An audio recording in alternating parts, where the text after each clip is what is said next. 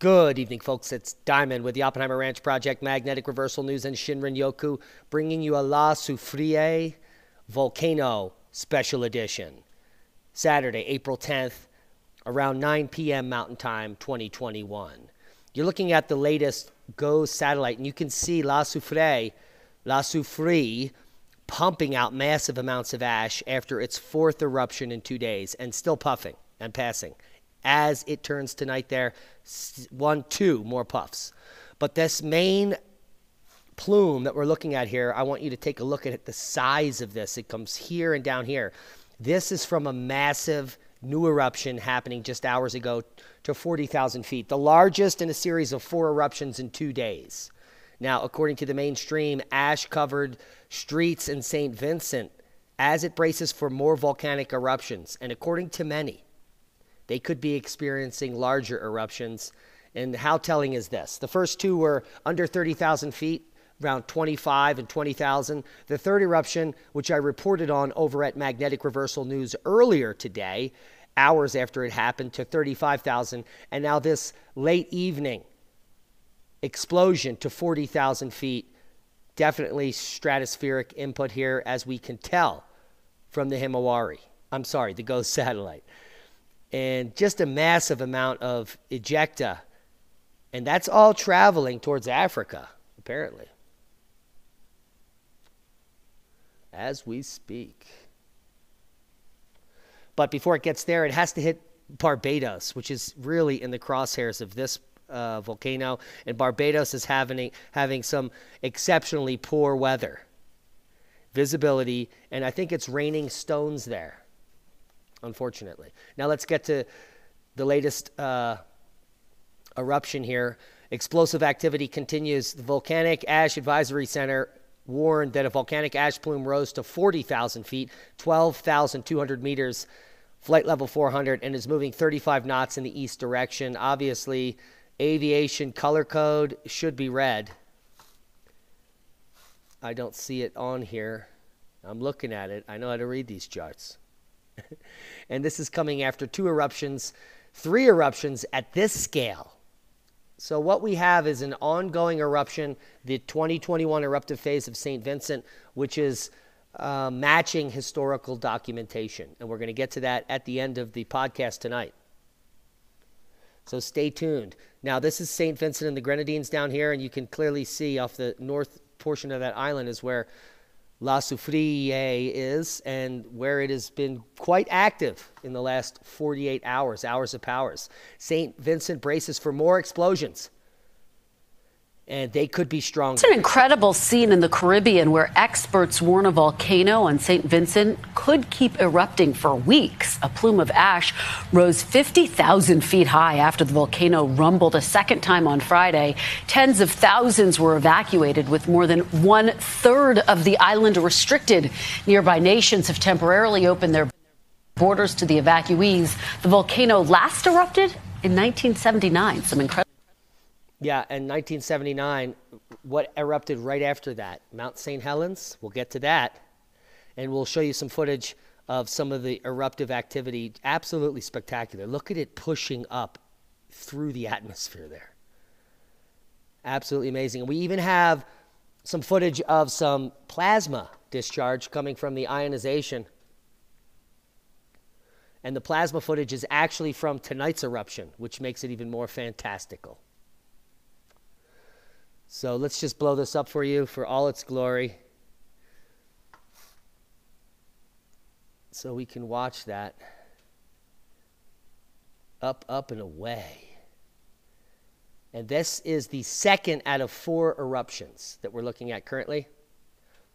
And we're going to be looking at this the third eruption, the one that happened earlier today, pushing up into the stratosphere.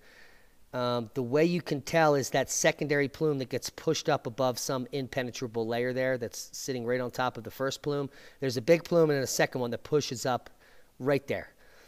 So we do have some stratospheric injection coming from this, and let's take a look at this video.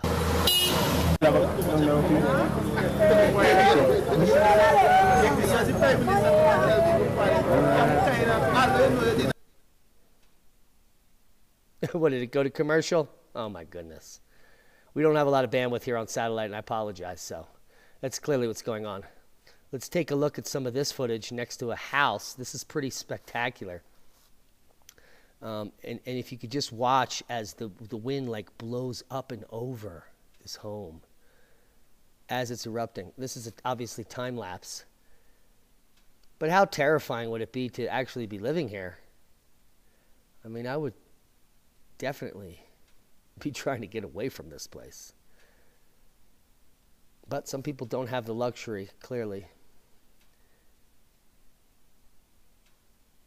And there is some other really good footage coming up in just a second, so let's wait for it.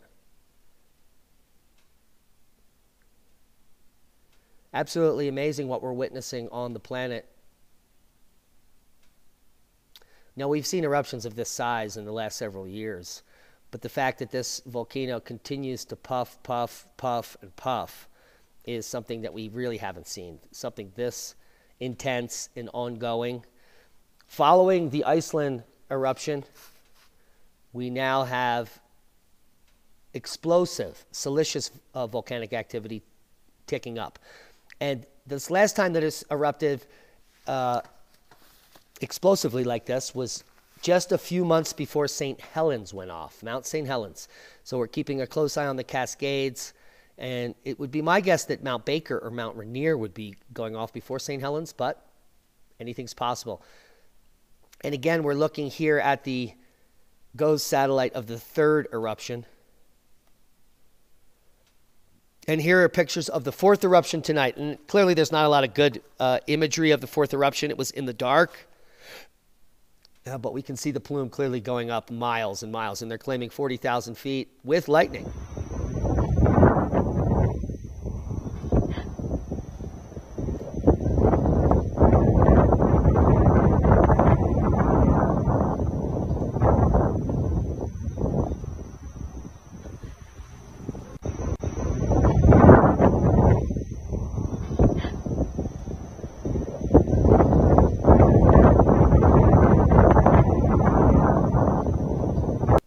Excellent footage that we're getting out uh, for, because of social media. Now, let's just break down Soufrière St. Vincent for you.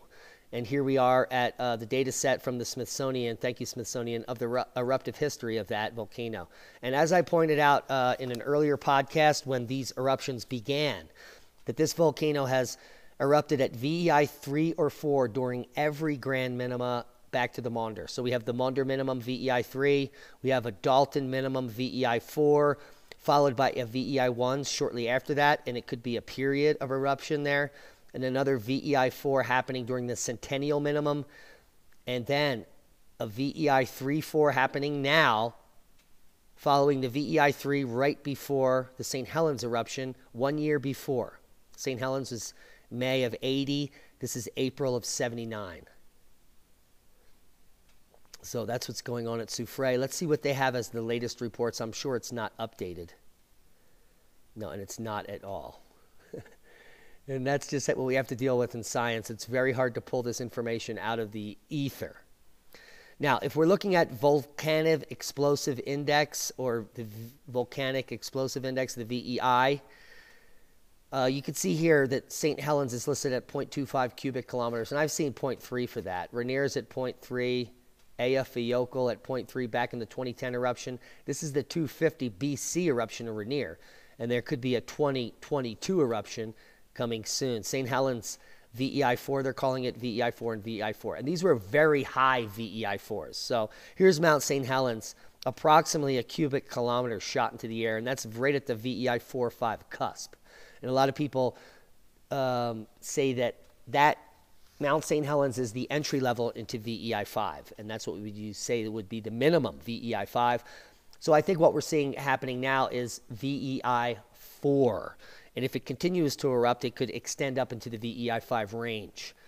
Now, some of the stats coming from St. Helens we'll go over with you qu- quickly here. On May 18th, a second earthquake of magnitude 5.1 triggered a massive collapse of the north face of Mount St. Helens the largest known debris avalanche in recorded history. The magma in St. Helens burst forth into a large scale pyroclastic flow that flattened vegetation and buildings over 230 square miles. More than 1.5 million metric tons of sulfur dioxide were released into the atmosphere. On the VEI index, the eruption was rated 5 and categorized as Plinian. If you want to know what that is, click on the link when you get here. The collapse of the northern flank of St. Helens mixed with ice and snow and water to create lahars, which are volcanic mudflows. The lahars flowed many miles down the Toutle and Cowlitz rivers, destroying bridges and lumber camps. A total of almost 4 million cubic yards of material was transported 17 miles south to the Columbia River by the mudflows. For more than nine hours, a vigorous plume of ash erupted, eventually reaching 12 to 16 miles above sea level. And what we're seeing happening now is something slightly sh- less than this. The plume moved eastward at an average speed of 60 miles per hour. So, what we're seeing is eruptions to maybe 6 to 10 miles up, as opposed to 12 to 16 and now we have four continuous eruption. So this is putting this is just at the VEI three four cusp, in my opinion. Um, right in this region, 0.1 cubic kilometers of material, and it is growing. So it depends on what happens moving forward. So just to recap, La Soufrière in the St. Vincent, fourth eruption in 48 hours. This one to 40,000 feet, the largest eruption happening in the evening and sparking off some volcanic lightning, which is pretty spectacular.